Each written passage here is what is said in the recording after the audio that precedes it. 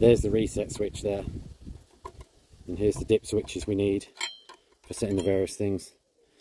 The heatsink is fairly beefy.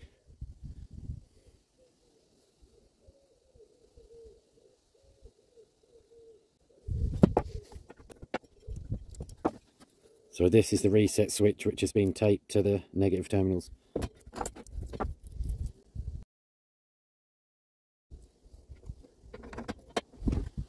So it just pokes through there.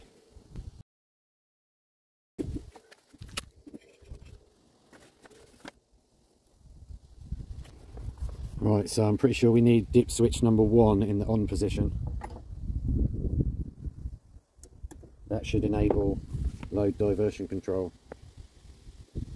Uh, now, dip switches 2 and 3 will set the battery voltage, so I'm going to actually set it at 12.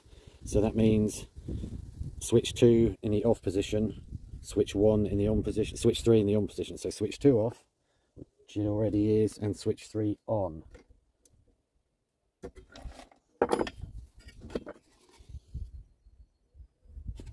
So dip switch number 1 is either solar battery charging or load diversion control and then dip switches 2 and 3 are the voltage so we've set the voltage for 12 volts if we wanted 24 volts then switch 2 is on and switch 3 is off. So that would mean switch 2 is on and switch 3 is off. So that's 24 volt but I'm going to change it back to 12 I'm just going to check that. So switch 2 is off switch 3 is on. There you go. So that's right. So we've got it in 12 volt mode. Now dip switches 4 5 and 6 are for us to select our battery voltage. I think I'm going to go with 14 which is here. So that means that's nice and easy. Dip switch 4 5 6 need to be in the off position.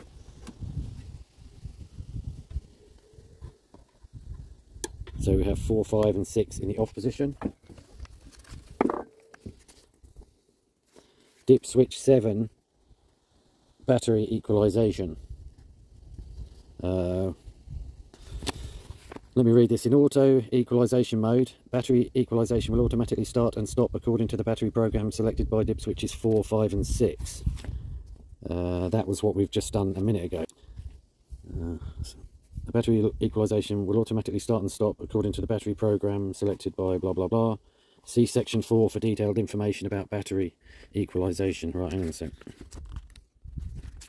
Uh, equalization. Many batteries benefit from a periodic boost charge to stir the electrolyte, level the cell voltages and complete the chemical reactions. The green LED will blink rapidly two to three times per second. Well, that sounds good. We'll have that on. So, to enable battery equalization, we're going to put it on automatic, which means dip switch 7 needs to be in the on position. So dip switch 7 to the on position.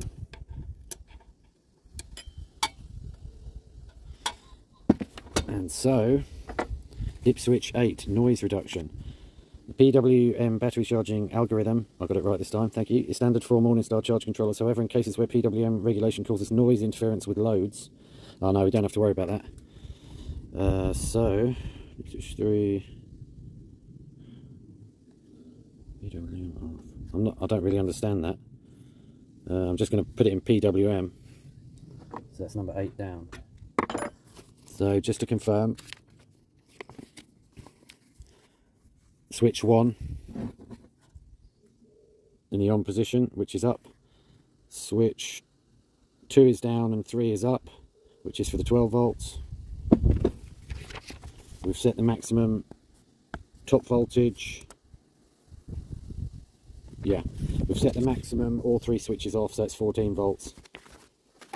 Okay so that's how it looks for 12 volts